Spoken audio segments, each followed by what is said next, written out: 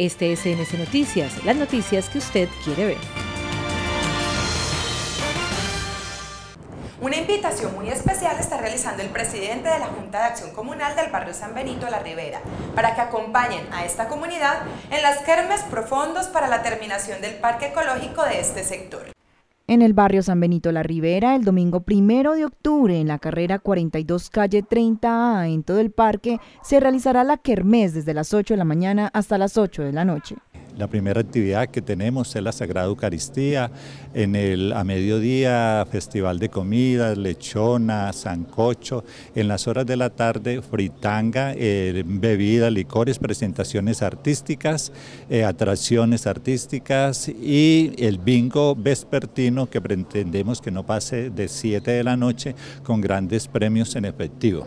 Esta actividad tendrá el fin de recolectar fondos para culminar la obra en el parque ecológico de este sector y así garantizarle un espacio de esparcimiento a la comunidad y un pulmón a este barrio residencial. Primero que todo para posicionar la Junta para que la gente se